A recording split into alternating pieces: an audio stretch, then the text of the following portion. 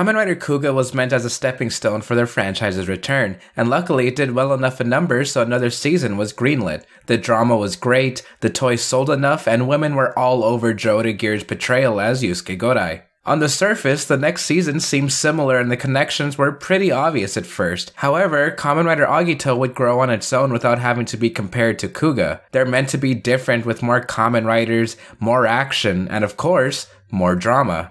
We start with Trash on a Beach, which may or may not be a sign of quality for the season. For legal purposes, that is a joke. We also see a kid playing with a strange mechanism. Elsewhere, a man named Makoto Hikawa tests out a battle armor called G3, which is based on a certain someone we know. More on that in a bit. At a school, a young man, Shoichi Tsugami, delivers books to a teacher, Yoshihiko Misugi. Apparently, Shoichi isn't a very good cook, as you can tell by the teacher's reactions when he says Shoichi's gonna cook dinner tonight.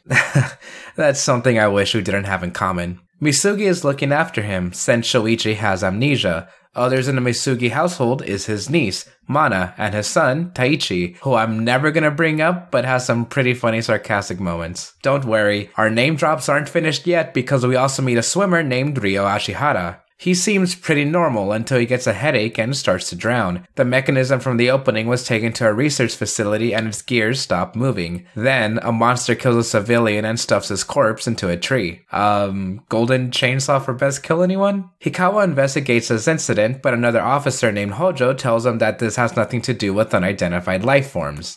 Alright, we gotta get into this. Actual continuity in early Heisei. Well, sort of. It's mostly agreed upon that Kamen Rider seasons exist in the same world, with some exceptions. A weird gray area is with Kamen Rider Kuuga and Agito. The monsters in Kuuga were designated as unidentified life forms, which is what Hojo just referenced. However, this reference was dropped hard after only a couple of episodes and is never brought up again. Luckily, TV Asahi did give an official statement on this connection. The gist of their quote is that you can believe Agito is a straight sequel or a parallel universe. Kuuga did happen and Agito occurs after, but it doesn't have to be a direct continuation. I personally don't think it's that deep. Unidentified life forms are just a quick reference. Besides, TV Asahi's statement included that Kuuga fought hard to keep everyone's smiles, so a similar conflict happening almost immediately after might make it seem like his fight was for nothing. It's a nice sentiment, something I wish a certain anniversary season kept. But I digress. Actually, let's have that be the question of the video. What do you guys think about the Kuuga and Agito connection? Would you have liked it more if Agito did keep more references to Kuuga? Please let me know in the comments below. Back to episode 1. Hikawa runs into a monster so he suits up into Kamen Rider G3. Well, I like the manual transformation. The suit itself is. Uh, something. You can see the Kuuga influences at least. Hikawa is part of a G3 team along with two others, Ozawa and Omuro. During the fight, another Kamen Rider appears. The monsters call him Agito. The action dies down and a meeting with the police department goes underway. They question who Agito is, though Hikawa notes that he looks like Kuuga, to us known as Unidentified Life Form number 4. He believes these monsters aren't Grongi, but a new enemy, which is why G3 wasn't able to keep up. Instead of being called unidentified life forms, the police will call them unknowns. As if it wasn't obvious, Shoichi transforms into Agito to fight the unknown, while Mana witnesses it. We also see that Agito has a blue form that can summon, a Rod. Familiar, and I'll get back to the suit later. Let's see what Ryo's up to. He exits from the hospital and resigns from the swim team. Oh, well, there must be some good reason for it. I'm sure it's just one obstacle getting in the way of his life. Shoichi gets away from his household for a while when Misugi tells Mana about the day he found Shoichi. He was on a beach and all Shoichi had was an envelope. Hikawa investigates Shoichi's house in time for their first real meetup. Then an unknown attacks, so they both jump into action. Without letting each other know, of course. Remember that weird mechanism from the beginning? Somehow, in some way, in some mystical fifth dimension that I know nothing about, a baby appears from it. Don't question it, you're not going to get an answer. G3 has needed repairs after every battle, so Hojo calls Hikawa unqualified to be its user. They have this rivalry going on, and the tension increases when Hojo says he knows why Hikawa is even allowed to use G3 in the first place. Hikawa was apparently the hero of an incident where he saved several people who were stranded on a ferry called the Akatsuki, except one person disappeared. The Akatsuki incident is why Hikawa is G3, basically so he would keep his mouth shut about it. Ryo and his girlfriend are out on a lovely stroll along a port, as couples do, when an unknown appears. It teleports Ryo to the sky and drops him, but Ryo is able to stop midway and transforms. His girlfriend runs away frightened. This is why Ryo had to quit the swim team. He's been feeling immense pain from the transformation, and now he feels a new kind of pain when his girlfriend says that they shouldn't see each other anymore. Remember that baby I mentioned earlier? It seems like he's already grown into a little boy. Oh, they grow up so fast. The boy latches onto a scientist and tells an unknown not to attack her, or else this happens.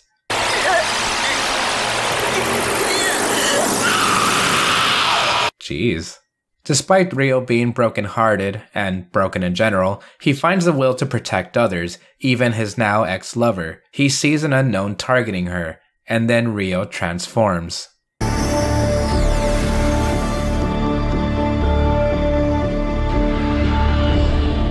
Meet our third Rider of the season, Kamen Rider Gills. We had something mystical with Agito, mechanical with G3, and now something organic with Gills. The suit is very jarring to me, maybe because I feel like riders are generally people with an armor like appearance, but Gills feels like a monster, not a human, not dissimilar to Shin. Gills' mouthpiece can open up, and that's just awesome. I briefly brought up G3's suit.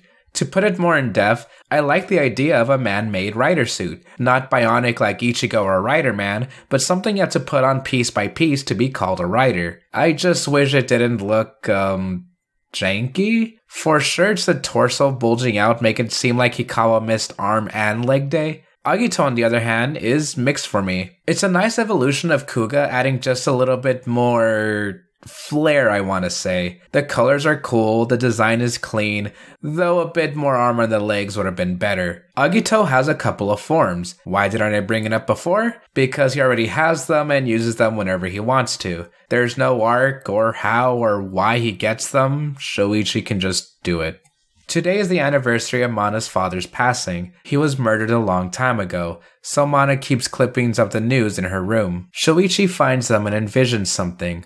Although the weird thing being that Mana can see his memories, and they don't look so good. Mana wants to test out this new power to help Hikawa investigate, and he just goes with it, I guess. One thing leads to another when Mana, Shoichi, Ryo, and Hikawa all cross paths to find one person. Shinohara Saiko. She's a diver where Mana and Shoichi find a pot she gathered with the Agito insignia on it. Ryo knows Saiko because her name appeared on his late father's notebook that was tied to the Akatsuki, and Hikawa still catfights with Hojo. Saiko explains that there are ruins in the lake where she goes diving at. It belonged to an ancient civilization that worshipped a warrior who had the Agito logo. However, Saiko's brother says that she went crazy a year ago due to the Akatsuki incident, meaning that the story of the civilization may have been made up. Though it doesn't matter now since she may have known too much and is killed by an unknown. Remember the little boy from earlier? Well, now he's an adult. He got taken in by the police and was admitted to a hospital when a visitor arrives for him. The visitor writes his name as Tsugami Sho. No, wait. Sawaki Tetsuya. Oh, look, there's a meme of Shoichi and Hikawa sticking their fingers in the mouth of fish. It's how they can tell it's fresh. Yeah, it's still pretty funny with or without context. Mana visits the police station every once in a while to get any updates on her father's murder. She and Hikawa investigate a house when Mana has a flashback of her reading a book about Momotaro and Onigashima. That's a really strange coincidence.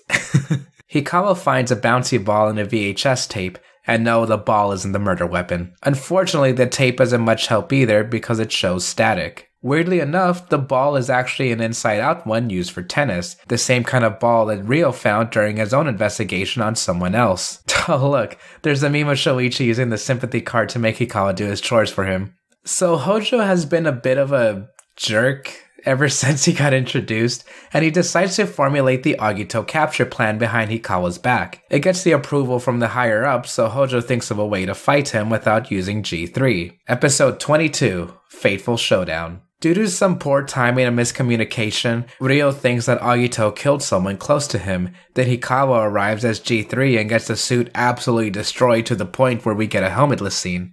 The G3 team look over the footage of the fight. Ozawa assumes that Hikawa is feeling guilty over the G3 suit being broken yet again. But Omuro notes that maybe it isn't Hikawa who's weak, but the suit itself. Ozawa has been gathering data since G3's first deployment. So now, it's time for an upgrade. To the next step of Hojo's Agito capture plan comes a draft he submitted for a new anti-unknown system, which he calls V1. For some reason, the TV Nihon subs make it look like it says VI, as in the Roman numeral 6, but no, it's V1. I got all your comments on that, thank you. Although Hikawa already has plans for G3X, her next project. Hikawa tests out G3X in a simulation, but even that's too much for him. Hojo scoffs, saying that Hikawa is too weak, so he'll show them what a real system can do. Once Hojo puts on the V1 suit. The reason G3X is so powerful is because Ozawa added a special AI for it to work on its own. But Hikawa is training himself to fight his own way. Ozawa does have a backup plan for someone else to use G3X. Omuro smiles happily. She visits Shoichi because he's always relaxed and knows he won't fight against the system. With that, Hikawa pleads for another chance. The day comes where it's G3X versus Hojo's V1, which looks kinda cool. You might recognize parts of V1 coming from Metal Hero shows. G3X looks awesome too. So big and brutal, you definitely wouldn't want to fight against that. During their test runs, G3X starts pummeling V1 and goes off on its own to fight an unknown. Hikawa pulls out a gigantic gun and is able to kill off the unknown. During one fight, Shoichi falls into a body of water and gets a vision of a woman in white. He knows who this is. It's his sister. He gets visions of an academy, an ocean, a woman on a table. In a similar way, Ryo reaches his own conclusion after investigating some more. He meets more people who are on his father's list that were part of the Akatsuki incident. During another fight, Ryo gets a headache and passes out. One of the men on the list say that they should keep Ryo around until someone named Kino tells them what to do. Oh look, Shoichi uses Trinity form for the first time. I guess he just now figured he could press two buttons at the same time. Maybe we weren't supposed to know about it. I gotta ask a rhetorical question here. What do you consider to be artsy? It's a very broad and general term that I can't exactly put a definition on. Well, with Agito being only the second season of the Heisei era, there's bound to be some experimenting. Kuuga's fight scenes felt raw, and Agito is about the same, but there are moments where fights are more tightly choreographed. Kuuga and Agito's transformation sequences are pretty straightforward. Then we have Ryo and the embodiment of Gills walking in front of a bright light, and Ryo accepting the monster that is Gills.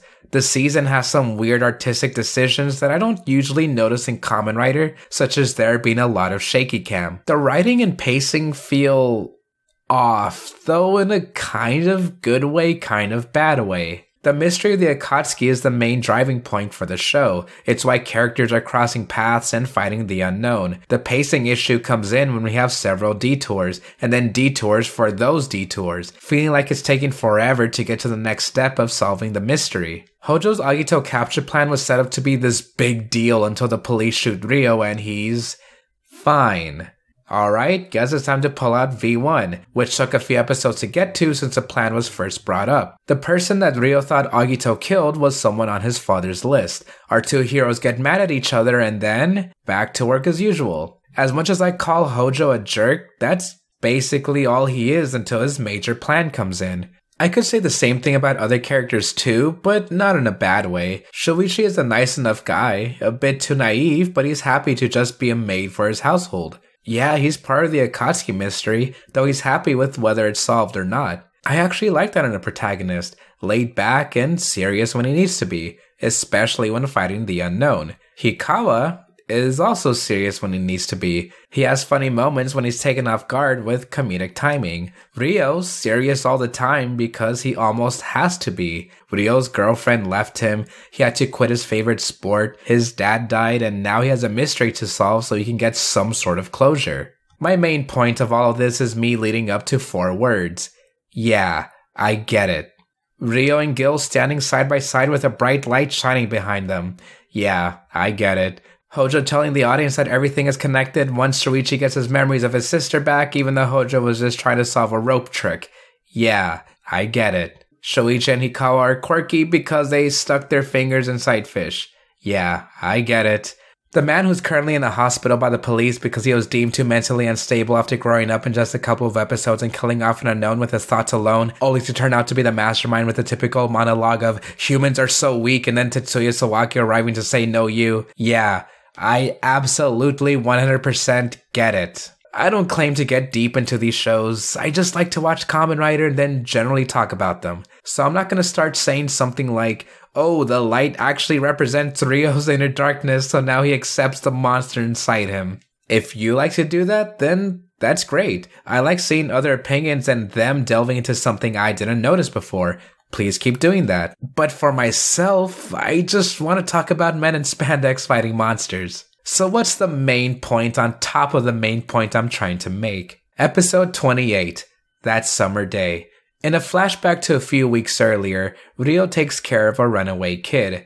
They learn from each other with Ryo saying, All you can do is live until the end comes. I don't get it. One of my favorite sayings is that opinions can change. My first go around with History of Agito had me feign anger and impatience. After so much time, I realized that I was looking at this all wrong. In a way, isn't everything artsy? Am I supposed to take this franchise at face value? What's the writer's intention behind every word?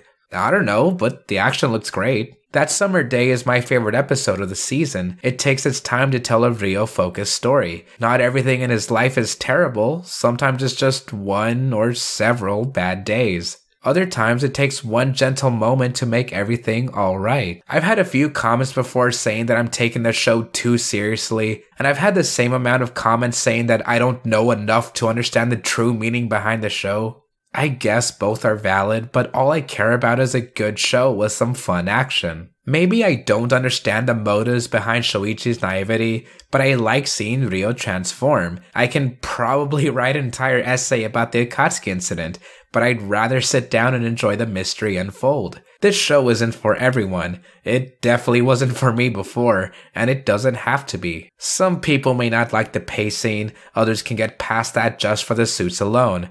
Everyone has their own reasons to enjoy something or not, and it's all valid. Oh, look, there's the meme of Shoichi using a frying pan as a tennis racket. Episode 31 A Person's Whereabouts. Mana is at a park remembering moments of being with her dad. Then she accidentally breaks someone's skateboard with her power. She continues on and gets kidnapped. Mana wakes up in a stranger's bed. They're people that we've seen with Ryo, the ones who brought up a man named Kino. He wanted this group of people to be together because they have similar powers. A new guy named Majina arrives. They discuss how they're all related to the Akatsuki incident, except for one Mana. But that doesn't matter. The group is happy that they have a place to belong together. Remember Tetsuya? He's been chilling with the emo looking guy in the hospital all this time. Now he's reaching out to Mana since Ryo has been missing for a while. His body has been floating in a river due to a previous battle, so Tetsuya asks Mana to revive him with her power. Mana wants to stay in the apartment with her own kind, but it appears that people like her are being killed off even faster, causing Mana, Ryo, Hikawa, and Shoichi to cross paths again. A powerful unknown is here, and it's the one that Shoichi remembers from the Akatsuki. Wait, Shoichi was on the Akatsuki? Tetsuya explains to everyone in the apartment that anyone involved with the Akatsuki shares similar fate. They will all be able to transform into an Agito. Not Agito, an Agito. There are species that the unknown are afraid of. Something similar has awakened inside Ryo, though Tetsuya doesn't want to give away why just yet. And frankly, I don't really know why either. After a couple of fights, Hikawa witnesses Ryo de-transform. Plus, Ryo and Shoichi now know of each other's transformations too. They both get their misunderstandings out of the way, and Shoichi is happy that he now knows someone who can transform like him. An unknown attacks Majina, but Shoichi is too hurt physically and mentally from a previous fight. Ryo and Hikawa try to fight an unknown, though they get defeated just as fast as Shoichi, who's lost confidence in himself. Ryo wishes he was normal too, but doesn't feel sorry for himself. Shoichi should be happy that he's in a warm place and has people who worry about him. Mana makes Shoichi a salad and tries to cheer him up too, asking why Shoichi never fights for himself. He takes the salad and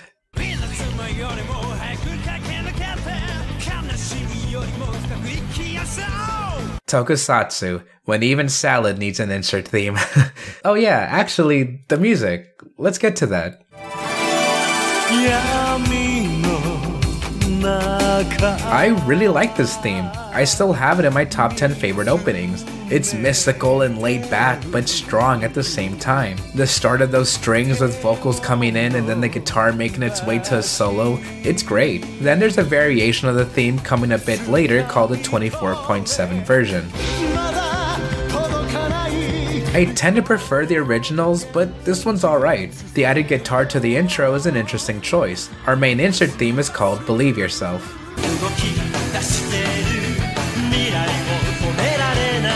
Not the biggest fan, though it gets the job done. I think there's something about the theme that just doesn't make me want to listen to it after the first go round. Probably because I've noticed it play way more than any other non Agito insert theme, but I digress. Oh yeah, here we go. This is one of my favorite inserts and I don't even know why. I think it's the emotion of something. It's catchy. Years later, and I still have a tough time explaining why I love certain pieces of music. Just listen to Deep Breath. It's really good. Right, so I wanted to have a detour so I wouldn't have to talk about what happens right after the salad scene. Shoichi gets his confidence back and arrives on scene to help his fellow riders. Then Shoichi summons a new belt and transforms into Burning Agito.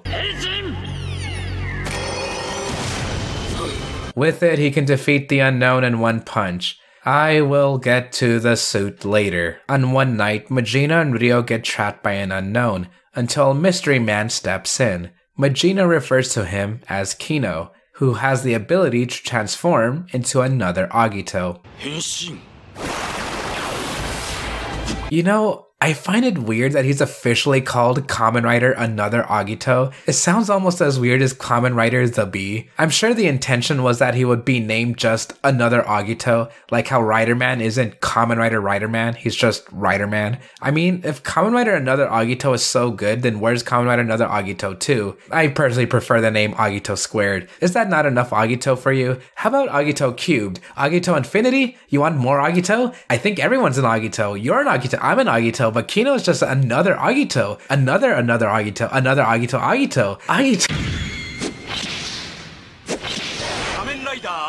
Hey everyone, as always, if you liked the video, then I'd be forever grateful if you could support the channel either by leaving a like or joining as a member. You'll get some neat perks like watching videos early, being able to send in a request, and access to some secret Discord server stuff. Let's get back to it. In a meeting, Hojo brings up how the police can't rely on G3X forever, especially since civilian casualties have stayed the same. Luckily, Ozawa has been working on a new project, one which anyone can use, called G3 Mild. Omuro offers to test it out and Ozawa agrees. After all, anyone can use it. An unknown appears and Shoichi fights it with burning form, G3X and G3 Mild are deployed, though Omuro passes out after only one punch and a helmet shot. Then G3X's batteries deplete. G3X has batteries? So Omuro replaces it with his own. Still in burning form, Shoichi looks towards the sun and.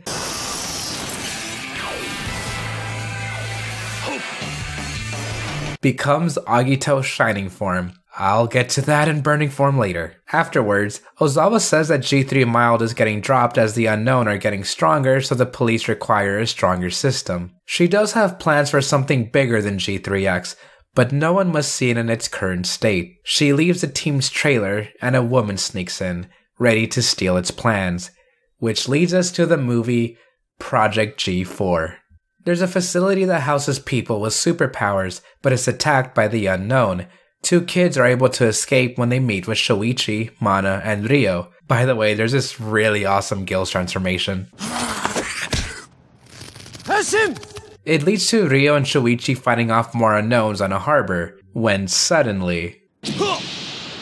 Meet our first movie exclusive Dark Rider of the Heisei era, Kamen Rider G4. Its user, Shiro Mizuki, is a stern man, playing by the rules and fighting for what he thinks is the right path for more power. Ozawa recognizes the G4 suit as the one she created, but a woman named Risa Fukami stole the plans in order to mass produce the suit. However, a major flaw starts to make itself apparent once a horde of unknown attack their facility. During this invasion, Shoichi uses Shining Form and Ryo gains a power up in the form of exceeded gills. Meanwhile, G3X and G4 are having a battle to the death, leaving Hikawa helmetless and G4 showing something sinister. Much like how G3X had a powerful AI that caused Hikawa to strain himself, the G4 system has an even more powerful AI that could prove fatal if overused.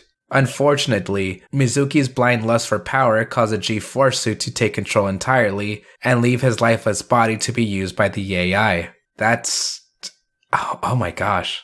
Well, Hikawa destroys the G4 system and we have a happy ending. The special with G3 Mild is called a new transformation. It could be considered kind of like a prologue. It gives some backstory on Shoichi's time being found on the beach along with G3 Mild's plans being groundwork for Ozawa's next project. The movie is called Project G4, and it actually isn't that bad. It's very pretty to watch and high quality, and the extra budget leads to some great action. G3X versus G4 is especially brutal. Plus, Gills' first fight with an unknown and the fight on the harbor are gorgeous. One of the many Rider trends that started with Agito was having at least one movie to supplement the season, along with having movie exclusive riders. Antagonists that appear in these movies are usually referred to as dark riders, and I hope I don't have to explain why. G4 has a suit that looks a lot like G3X, and that kinda makes sense. G3X being the most powerful suit so far, the next project most likely wouldn't need much of a revision. Shiro Mizuki as a character, though,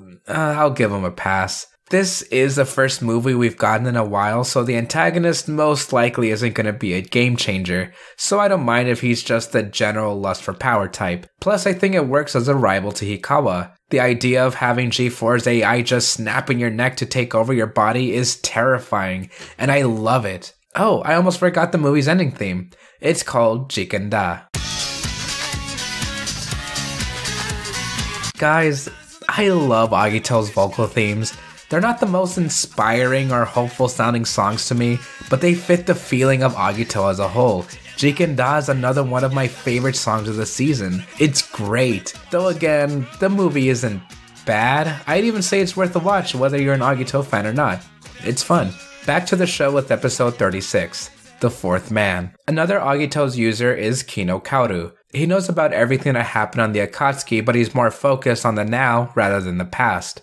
Currently, he's suspicious that Ryo can transform despite not being on the Akatsuki in the first place. Kino has been gathering people with power like Majina so they can save other Akatsuki members. What's interesting about Kino is that he's a surgeon, so he has the morality to save people as a doctor and as an Agito.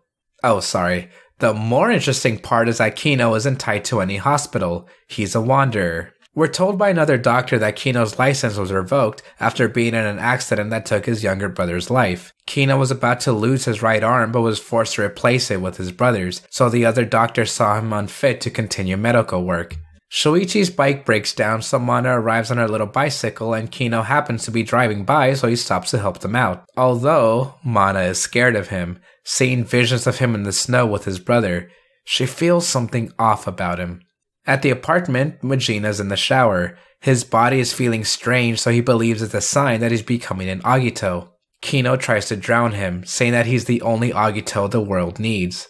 Majina pushes them away and runs towards Ryo. Kino does want to protect humans, but only by himself. Hikawa arrives on the scene and sees Kino untransform. However, Hikawa recognizes Kino from the Akatsuki and practically fanboys after thinking that Kino has been the Agito he's been allying with this whole time. Though that's kind of like a Sonic and Shadow the Hedgehog moment because another Agito and Shoichi's Agito looked nothing alike, but whatever. By the way, this is the episode where Shoichi gets Shining Form proper in the season. It comes out of nowhere and makes no sense, but I won't go off, I guess. Alright, you still probably want to know what I think about the suits. Well, I actually do like Burning Form's colors. It acts very beast like, and I love that, especially coming from the mystical part of Agito. And Shining Form, I think, looks absolutely gorgeous. I love those colors, and of course, it is shiny. I kind of wish shiny form was actually the base form, but I, I don't think you can go further than this. Either way, I do like the suits, and I like the action that comes from them. I just really don't like how they come out in the story. And again, I won't go off, I guess. After a misunderstanding, Hojo interrogates Shoichi about being in Agito, to which Shoichi immediately replies that he is. Hojo thinks he's being screwed with, so he tries hypnotizing Shoichi instead. It seems to be working as Shoichi thinks he sees a culinary school, his sister, who committed suicide. He's running late to meet with someone. He boards a ferry, which is about to enter a storm. Ozawa's had enough and talks with Shoichi privately. He really did mean it when he said he's Agito. Shoichi is now officially recognized by the police and is allowed to continue doing whatever it is Agitos do. Though Hikawa is really excited to finally see Agito's true identity. I know this is an abrupt way to say this, but I gotta bring it up. Tetsuya makes it so Majina transfers his power over to Ryo in baby form. I still don't get it. Kino starts to go even crazier and attempts to take Mana. Hikawa and Shoichi try to fight him off, though Kino has gotten more powerful. And so has Ryo. He arrives on scene and properly debuts Exceeded Gills. Yeah, it's an awesome power up. After Kino gets beaten up and given a stern talking to, he turns into a good guy, I guess. Here's a quick scene of Hikawa being nervous to talk to Shoichi after finding out he's Agito. Meanwhile, Hojo investigates Kino's house due to some suspicious behavior. Inside, he finds a letter addressed to someone named Yukina. Hojo shows Mana the letter so she can do her psychic power thing. She has a vision of a boy in black and a boy in white. We're about to reach the endgame, so it's exposition time! With Ryo and Hikawa officially introducing each other for the first time, our three main riders are told Kino's backstory about how he saved himself by cutting off his brother's arm, though now Shoichi wants all of them to start an Agito club. Okay, that's adorable. For the viewers, we're shown more about Tetsuya. He killed the first Agito born into this world, that person being Yukina, so the emo guy in the hospital says it caused Tetsuya to become loyal to him and now wants him to kill every Agito. More of Shoichi's memories return about the Akatsuki. The first time he boarded the ferry, he met a few familiar faces like Majina, but they didn't know each other at that point. The ferry floats into a storm when Shoichi finds a corpse. Panic ensues, everyone talking about their own problems, though Shoichi is sad that his sister committed suicide recently. He pockets an envelope when a man in white appears before him. The man says he'll awaken a power within Shoichi to save people from the unknown that's on the ferry. Shoichi transforms for the first time but ends up getting beaten up and punched off the boat. The unknown presents itself to everyone on the Akatsuki. They all have the potential to become an Agito because of the man in white being on the boat. Until their power is awakened, the unknown will spare them. Just then, Hikawa arrives to help rescue the remaining Akatsuki members. The envelope Shoichi had was a letter from his sister, Yukina Sawaki. Kino takes a look at it but can't read the language that's on the letter. However, Mana can with her ability. A long time ago, there was a battle between a Lord of Light and a Lord of Darkness. The darkness won, but the light spreads the last of his power towards humans. They'll never know of this battle, but their full potential will one day awaken. Currently, the Lord of Darkness is in the hospital meeting with who we now know as Tetsuya Sawaki. However, this man changed his name after Shoichi took his letter and his identity by accident, although I'll keep calling them Tetsuya and Shoichi respectively to avoid confusion. Tetsuya was Yukina's boyfriend until she committed suicide. Oh, you probably want to know about Mana's vision of Shoichi and her father meeting. Well, I think I'll leave that for you to find out on your own. It connects a couple of people together in a way that I want you to be surprised by. The Lord of Darkness makes his move. He steps out of the hospital and is preparing to take back Agito's power. One by one, he takes on Kino, Ryo, and even Shoichi to steal their ability to transform. However, G3X is a man made machine created to help humanity, so with Hikawa's help, Shoichi goes through the Lord of Darkness's barrier and literally punches God in the face, returning their powers. At the apartment, Majina tells Kino his dream of wanting to become a doctor, just like him.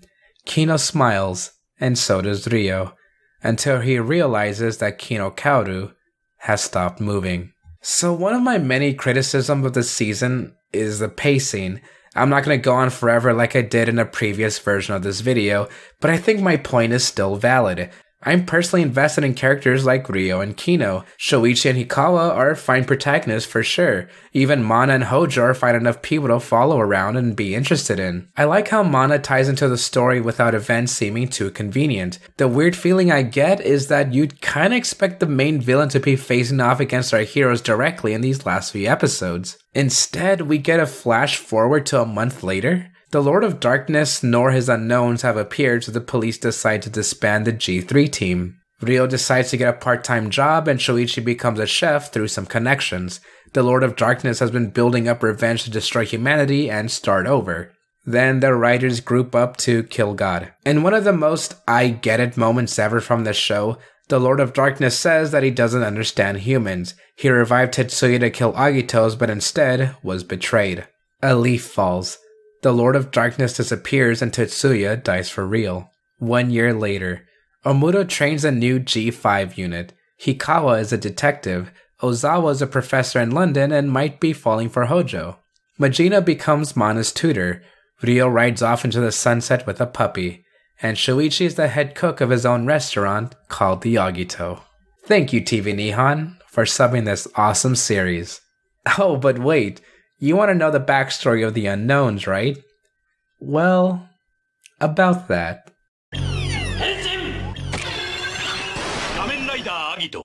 In the beginning, there was Teos, the overlord of darkness.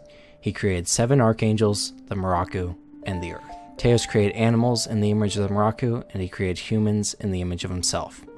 And the world was good. It was a paradise. As time passed, humans populated the earth. Since humans were created in the image of Teos, they began to believe that they were superior to Teos' archangels. Humans began to eat and enslave animals, which were created in the image of Miraku.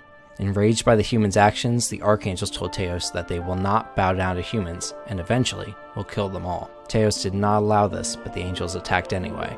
A war broke out between the Miraku and the humans. One of Teos' archangels, called Promes, sympathized with the humans and betrayed the other archangels. Promes fell in love with a human and had a child.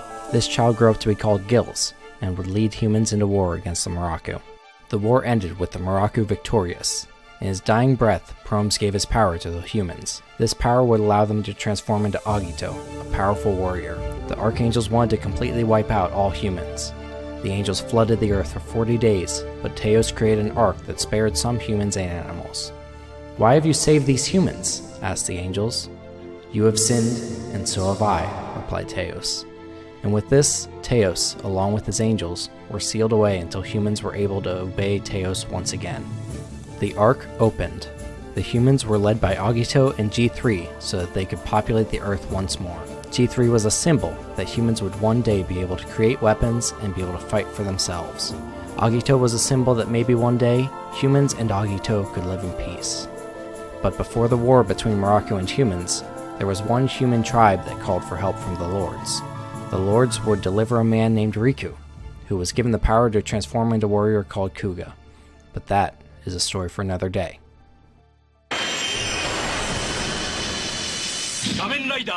For those who don't know, this video is a remake of my previous History of Agito. Much like History of Kuuga, I rewrote the script and edited from the ground up. I remade them, and hopefully Ryuki, due to feeling outdated not being the quality I liked, and to avoid content ID that Toei loves to look at my channel for. I often bring up how opinions change over time, and that's not much more blatant than revisits of older seasons. Before, I tried a bit too hard at some parts as I was still searching for my own niche. In the present day, I'm definitely gonna be more fair with this review.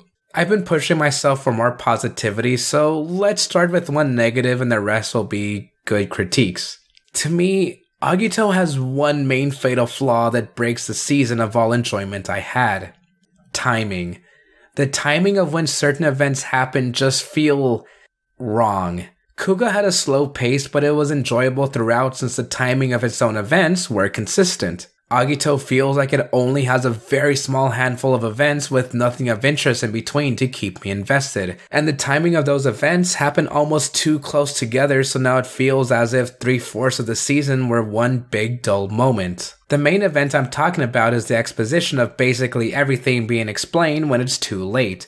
The Akatsuki incident was fine when it got explained, but bring Kino in during the last third, the reveal of who the Lord of Darkness is, Shoichi's and Tetsuya's true backstories, more Agito starting to appear, Hojo and the police investigations getting more complex, the G3 teams getting their own side plot about Hikawa leaving, the last four episodes centering on Shoichi and Ryo's relationship getting sour due to some unknowns. It's just too much that should have been spread around the whole season, not the last third. I'm not saying it's too complex for me to understand. I'm saying that Agito didn't know what to do until near the end, which of course isn't a good thing. The story being told this way seemed like it was being bloated for the sake of it. Considering the main writer of the season is Toshiki Inoue, I think the problem becomes more apparent. He can write some pretty good love stories and tragic characters like he did with Jetman. I can praise the writing for characters like Tetsuya, Kino, and Ryo, but the day to day stories are another thing. Besides, that's all I can really praise Ryo for because his actor is yet another thing I won't go into. Inoue will later go on to write a couple future Rider seasons, and those are quite good in my opinion.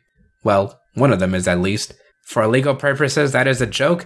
Please do not comment saying that you absolutely love the other season, so I'm wrong for it automatically. I get it.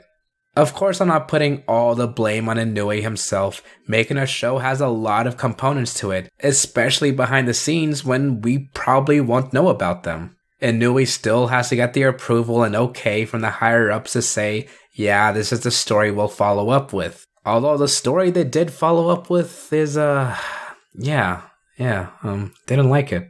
The last thing I'll say about the timing are the power ups that seemingly come out of nowhere. Like I said, Burning and Shining Form are gorgeous suits. I love them, but how they appear is just wrong.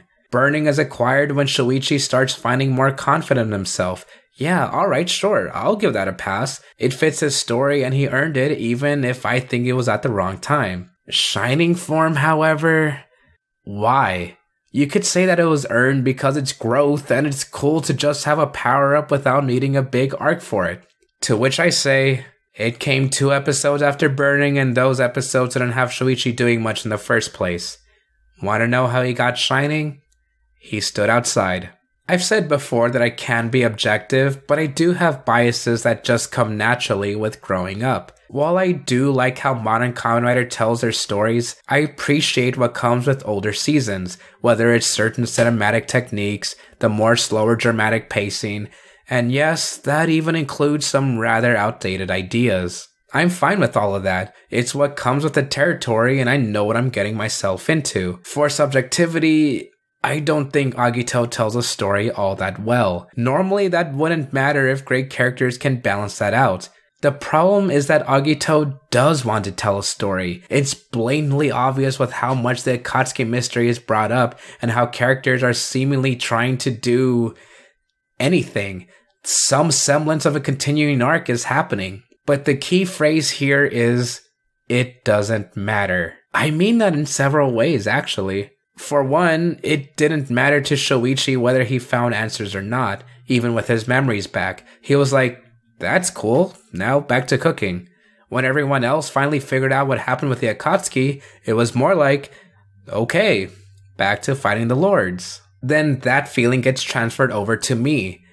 Okay, that's fine. Now I feel like my time was wasted since it feels like it didn't matter. Kamen Rider Agito has the highest viewer rating out of any other Heisei Rider season with an 11.67%. Of course, that's because the early 2000s were a different time. Declining ratings in the modern day is mostly attributed to the switch to digital media and streaming, rather than waking up early on Sunday mornings. However, numbers and any kind of margin must mean something. Obviously, I didn't grow up in Japan to know the early 2000s culture, so I can only speculate about what I found at the time.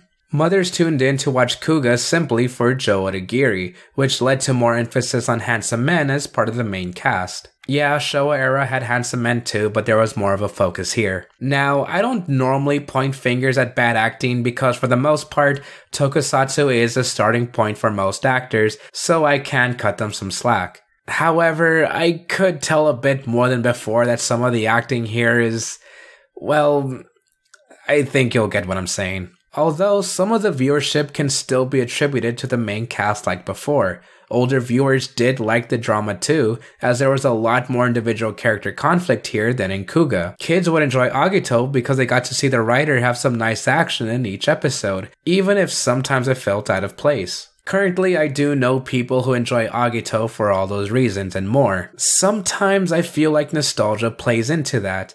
I won't get into nostalgia or recency bias, but there are just a couple other reasons to enjoy the show. I'm emphasizing they're not the only reasons, just more to think about. Now for some positivity. The characters are awesome. The G3 team are part of SAUL, the squad of anti-unidentified life forms, and I love each one. Hikawa isn't an Ichijo 2.0, but dang it, he tries, and that's good enough for me. The G3X arc is one of my favorites because despite getting it, the arc isn't over as Hikawa has to continue training, or else the AI will take over. That's amazing, and a way that arc continues into Project G4 when Hikawa has to decide to fight for himself when discussing the possibilities of G4 before. Omuro is a bit of a goofball, but he has his heart in the right place. I would have liked it if there was more of him, though he works fine enough as a member of the team.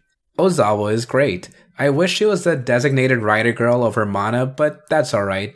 Ozawa gets a lot of screen time and definitely feels like an integral part of the team, Now outside of creating weapons for them, of course. Kino Kaoru could have been better. He did come a bit too late into the story, and he goes insane literally the episode after he makes his debut. If he hung around earlier and was given more hints into his backstory, then his turn would have been more impactful for me. I do like him though, and his story is still sad. I didn't want to see him go, though this won't be the last time he'll appear within this franchise. Man, I really wish I could say more about him, but coming in so late to the story hurts his character a lot more than it should have. He's there as a cool guy, then goes crazy as soon as he's introduced. Then he's gone. Alright.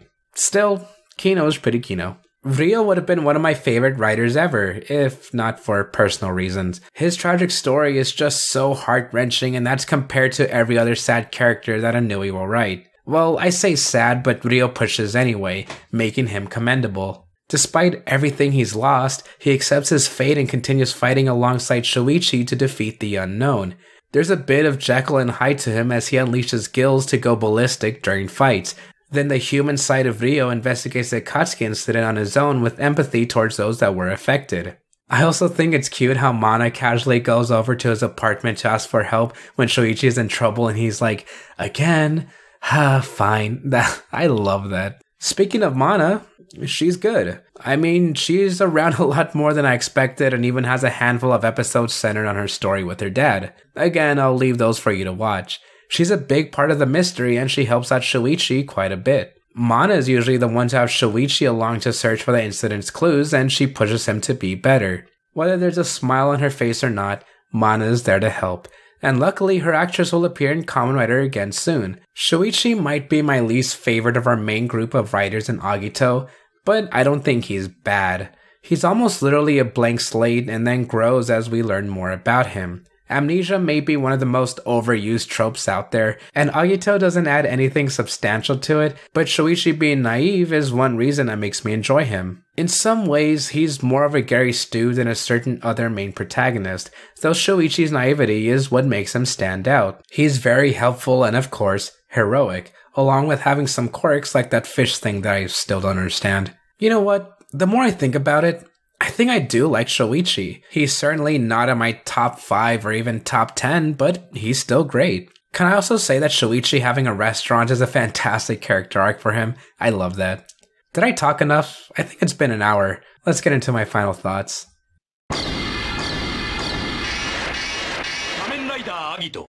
Looking back, this season wasn't as bad as I remember. While I think the storytelling is abysmal, the characters made up a lot of it for me. The action is still on par and the journey to the end might be a bit rough, but it's not the worst thing ever. In the end, I just feel more neutral. To me, Kamen Rider Agito is just okay, though slightly leaning towards negative. With all that being said, I'll see you guys next time when we try to fight to survive with Kamen Rider Ryuki. Tateka.